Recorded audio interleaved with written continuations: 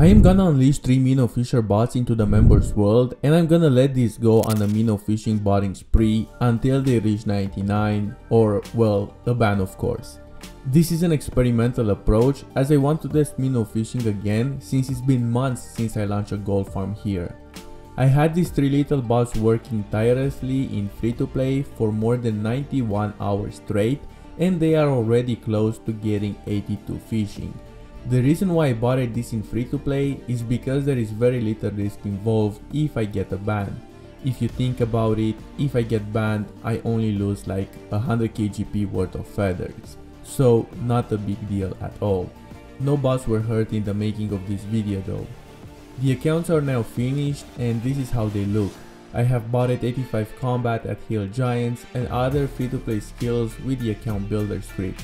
Now I use this free bank seller to clean the bank and tidy it up before bonding these accounts. Now the accounts are ready so I bonded them automatically with the Grand Exchange Stalker.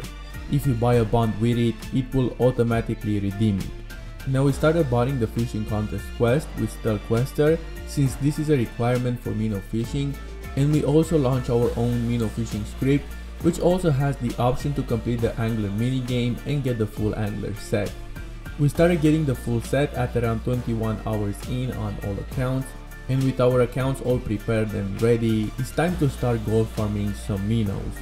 Hold on on your fishing rod guys because this is gonna get fishy.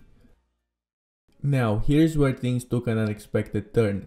2 out of 3 bots got whacked at around 89 fishing after 5 days of relentless minnow fishing botting.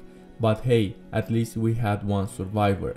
This one bot kept going strong, reaching a glorious 91 fishing and even pushing forward to 92 and almost 93.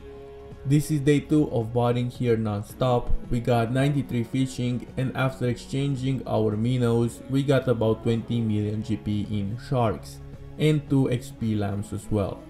Since we're gonna run out of membership soon, we sold all the sharks and extra fish from the angler minigame and got 20 million GP cash stack.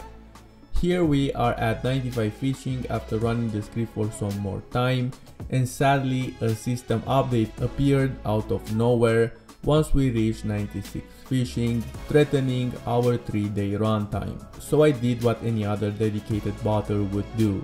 I let the bot run while I went into Malta after vacation. And guess what? When I returned, the accounts had ran out of membership, but not before hitting the grand jackpot of 99 fishing. I placed this account for sale for only $65, so some nice profit has been made. If you enjoyed this wild ride and are tempted to jump into the world of botting yourself, head on over to bottinghub.com. We've got all the scripts and tools you could ever dream of. See you in my next botting adventure.